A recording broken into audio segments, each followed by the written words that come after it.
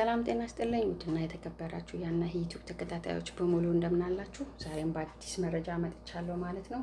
ወደ መረጃ የሳልፍ ሳውዲ አረቢያ ለሁለት ሳምንት ዘግታ የነበረውን የአየርና የየብስ የባህር ትራንስፖርት በሮቿን ዛሬ ጃንዋሪ 3 ቀን 2021 ከረፋድ ጀምሮ ክፍት ማድረጓን ከአገር ውስጥ ጉዳይ ሚኒስቴር የወጣ መረጃ አስታውቋል።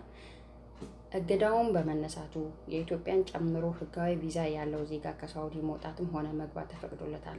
በሀገር እንግሊዝና በተለያዩ የአውሮፓ አሜሪካ በአዲሱ መልክ እየተሰራጨ ፈጣን የተባለውን የኮሮና ቫይረስ ወረርሽኝን ስጋት ተከትሎ ነበረ የተዘጋው በር ሲከፈት አዲሱ የኮቪድ 19 በእንግሊዝና በደቡብ አፍሪካን ጨምሮ ወረርሽኙ ከታየባቸው ሀገራት ወደ ሳውዲ መግባት የሚፈልጉ ከሳውዲ ውጭ የሆኑ ዜጎችን ሳውዲ ከመግባታቸው በፊት ለ14 ቀናት ራሳቸውን ማግለል ይኖርባቸዋል ተብሏል። በአንጻሩ ለሰብአዊ እና በጎ ስራ አስፈላጊ ሆኖ እንዲገቡ የተፈቀደላቸው የሳውዲ ዜጎች ለ14 ቀናት በቤታቸው ራሳቸውን አግለው መቆየት ይጠበቅባቸዋል። ወደሚቀጥለው ስገባ ወደ ዱባይ ነው። ዱባይ የቆንስላ ጄኔራል ጽሕፈት ቤት ከዱባይ ሰሜን ኤሚሬቶች ኢትዮጵያ ቱሪዝም ሆስፒታል professional ማህበር ኢትዮጵያ ጋር በመተባበር በዱባይ ሰሜን ኤሚሬቶች ያሉ ዜጎች ክህሎት በማሳደግ ጠቃሚ እንዲሆኑ በቆንስላ ቅጥር ግቢያችን ለየትኛውም ትምህርት ደረጃ ላላቸው ዜጎች አቅም ግንባታ እስከ personal development በአማርኛ ቋንቋ በነፃ ለአራት ተከታታይ ሳምንት የሚሰጡ ስልጠናዎች አዘጋጅቷል። የስልጠናውን ፕሮግራም January 15 2021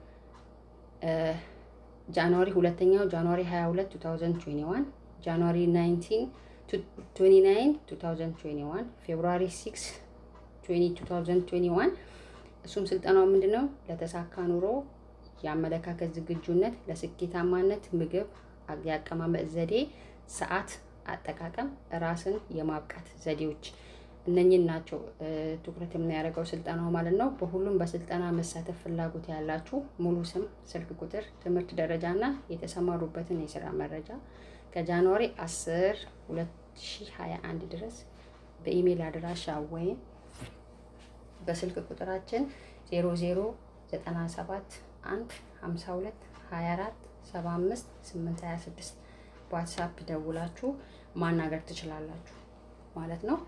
ወደ ርስተኛው ወደ ሁለት ሶስተኛው መረጃ ስገባ በጅዳ ኮሮና ምርመራ በቀላል ክፍያ የት ይገኛል ወደሚለው ነው። የተለያዩ ኢትዮጵያውያን በተለያየ ዓለም አቀፍ በረራ ኑሯቸው ከሳውዲ ወደ ኢትዮጵያ ይሁን ወደ ሌላ ቦታ ለመጓዝ የሚጠቀመውን የኮሮና ቫይረስ ምርመራ በማድረግ ነፃ ስለመሆናቸው ማስረጃውን በቀላል ዋጋ የሚያገኙበት የጤና ተቋም በተደጋጋሚ እየጠየቁ ይገኛል። በዚሁም መሰረት አገልግሎቱ በአልፋ ሮዌስ በሚገኝ International Medical Center ሆስፒታል ማግኘት ይችላሉ።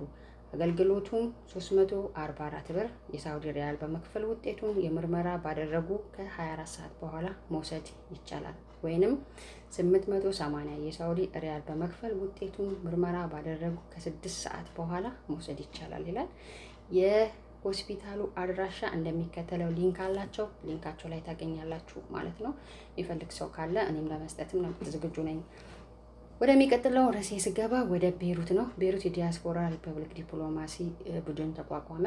በሊባኖስ ቤሩት social media በብዛት ከሚጠቀሙት ብዙ ተከታይ ካላቸው ሰባት የዲያስፖራ አባላት ጋር ውይይት ተካሄደ። በውይይቱም ወቅት ቆንስላ ጄኔራል ክቡር አቶ ተመስገን ኡመር social media ውን የሀገራችንን ማዕከል እሴቶችን አጉልቶ የሚያሳይ እንዲሁም በሊባኖስ በሚኖሩ ዜጎች ላይ የሚደርስ ማንኛውንም ጥቃት ከቆንስላ ጄኔራል ጽሕፈት ቤቱ ጋር በመናበብ አብሮ በመስራት ብዙ መልካም ተግባራትን ለመፈጸም ከፍተኛ አስተዋጽኦ እንዳለው በሰፊው ገለጻ አድርገዋል።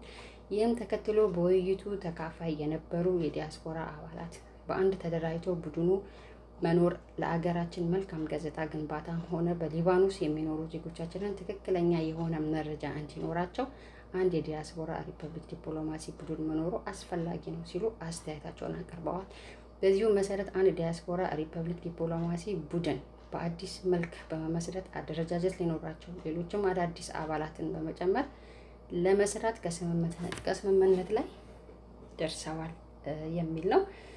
ወደሚቀጥለው መረጃዬ ስገባ ወደ ቤይሩት ነው። አሁንም ማስታወቂያ ከቤይሩት ቫይረስ በሊባኖስ ማለት ነው በኮሮና ቫይረስ በሊባኖስ የተስፋፋ በመምጣቱን ተከትሎ ሁሉም ማህበረሰብ ከዚህ በታች ተጠቂ እንዳይሆን ታሳቢ በማድረግ ፓስፖርት አድሶ ለመውሰድ ወደ ቆንስላ ጽሕፈት ቤታችን የምትመጡ ዜጎች ከዚህ በታች በወጣው ፕሮግራም መሰረት ብቻ የምናስተናግድ መሆኑን ለማሳወቅ እንወዳለን ይላል። አንድ ሰኞ የስማችሁ የመጀመሪያ ፊደል ከ A እስከ D። ሁለት ማክሰኞ የስማችሁ የመጀመሪያ ፊደል ከ E እስከ H። ሶስት ሮብ የስማችሁ የመጀመሪያ ፊደል ከ L እስከ M። አራት ሐሙስ የስማችሁ የመጀመሪያ ፊደል ከ N እስከ S። አምስት አርብ የስማችሁ የመጀመሪያ ፊደል ከ T እስከ Z የሚጀምር ብቻ መሆኑን እየገለጽን ከዚህ ፕሮግራም ውጪ ለመውሰድ የምትመጡ ዜጎች የማናስተናግድ መሆኑን በትህትና እንገልጻለን ይላል። ይሄ ቤይሩት ነው። ወደ አገራችን መረጃ ሳልፍ በቅዱስ ጳውሎስ ሆስፒታል ላለፉት ዘጠኝ ወራት የኩላሊት ነቀላ ተከላ ሕክምና አለማድረጉን አስታወቀ። ሰባ የኩላሊት ሕክምና የንግድ የኩላሊት ነቀላ ተከላ ሕክምና የሚያስፈልጋቸውንም ቢሆን ሆስፒታሉ ከዛሬ ነገ ይጀምራል እያሉ በመጠባበቅ ላይ ይገኛሉ። የቅዱስ ጳውሎስ ሆስፒታል ሚሊኒየም የሕክምና ኮሌጅ የኩላሊት ነቀላ ተከላ እገዳ ዘጠኝ ወር ማስቆጠሩን ተነግሯል። ለዚህም ምክንያት የኮሮና ቫይረስ መሆኑን ተገልጿል። በሆስፒታሉ የነቀላ ተከላ ማዕከል የነርስ አስተባባሪ የሆኑት ሲስተር ሃይማኖት ሀብተ ማርያም በኮሮና ምክንያት ጉዞዎችን ስለተሰረዙ እንዲሰረዙ መደረግ ያለባቸው ምርመራዎች ውጪ አገራትን ልኮ ማስመርመር ስለማይቻል ስለማይቻል ነው ሲሉ ተናግረዋል። ሕይወት ለማዳን የመጣ ሰው ህመም ሰጥተን አንሸኝም ብለን ነገሮችን እስኪስተካከሉን እየጠበቅን ነው ሲሉ ለኢትዮ ኤፍኤም ሀሳባቸውን ሰጥተዋል። የኮሮና ዳፋ ህመሙን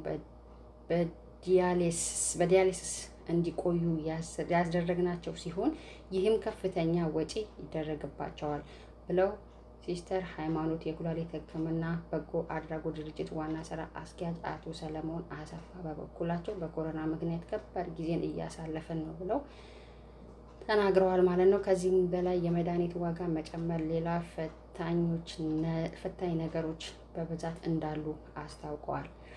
መቼ መፍትሄ ይሰጠዋል ስንል ለጠየቅናቸው ጥያቄ ሲስተር ሃይማኖት sample ልከን የምናስመረምርበትን ሆስፒታል መቀየር አማራጭ አድርገን አይተናል። በቅርቡም ከውሳኔ ላይ እንዲደርስልን ሲሉ ምላሽ ሰጥተዋል ብለዋል። ወደ መጨረሻው information ስገባ በዜጎቻችን ላይ ጭፍጨፋ ከሌላ አካል እጅ እንደነበረበት በመተከል ዞን በግድያ የተሳተፉ በቁጥጥር ስር የዋሉ ታጣቂዎች ተናገሩ።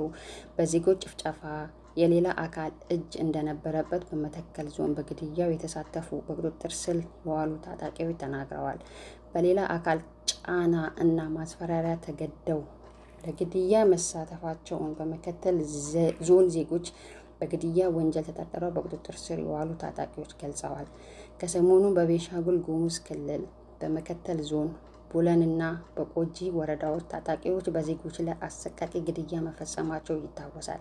ከታጣቂዎች መካከል በትላንትናው ዕለት አስራ ሰባቱ በህዝብ ትብብር በቁጥጥር ስር መዋላቸው ይታወሳል።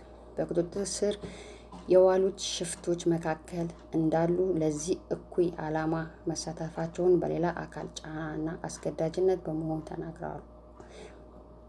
በግዳጅ በድብደባና በእንግልት ተብለን ለመታጠቅ ተገደናል ብለው ለጥፋት የመለመሏቸውን አካላት የሚነግሯቸውን ሁሉ እንዲፈጽሙ ትዕዛዝ እንዲሰጧቸው ተደርገዋል። የቤንሻንጉል ጉሙዝ ክልል ጸረ ሽምቅ ልዩ ጠበቃ አድማ ብትን መምሪያ ዋና አዛዥ ኮማንደር ዶሳ ጎሹ በቁጥጥር ስር የዋሉ ታጣቂዎች ዜጎችን ሲገሉ ስለነበረ መከላከያ መሆናቸውን ተረጋግጦ ነው ብለዋል። ከዚህም የታጠቁ ሽፍቶች ከዞኑ ከጎንደር፣ ከደባጤ፣ ከቡለንና ከማንዱራ ዙሪያ የመጡ መሆናቸው ነው የሚናገሩት። በአካባቢው ያለው ችግር ለዘላቂነት መፍትሄ ተቋቁሞ የተቀናጀውን ግብረ ኃይል ጸጥታ ሕግ ማስከበር ስራውን ተረክቦ የተጠናከረ እርምጃ እየወሰደ መሆኑን ኮማንደሩ ተናግሯል ይላል። የዛሬ information እንግዲህ የመጣሁት ይህንን ይመስላል። ውድና የተከበራችሁ ጓደኞቼ ስለነበረን ቆይታ እጅግ እጅግ እጅግ አርጌ ከልብ አመሰግናለሁ። ለምታበራታቱኝም like፣ share፣ comment ለምታደርጉ ጓደኞቼ በሙሉ ከልብ አመሰግናለሁ። እንግዲህ በሀገራችን ላይ የመጣውን ክፉ ነገር እግዚአብሔር አምላክ የያዝልን። በእውነት ዓለም በጣም እየከፋ ነው ያለው። እግዚአብሔር በነገር ሁሉ እንግዲህ የመጣብንን ክፉ ነገር ክፉ ወረርሽኝ እሱ የያዝልን እላለሁ። ስለነበረኝ ቆይታ በጣም አመሰግናለሁ። በአዲስ ቪዲዮ እስክንገናኝ መልካም ቆይታ bye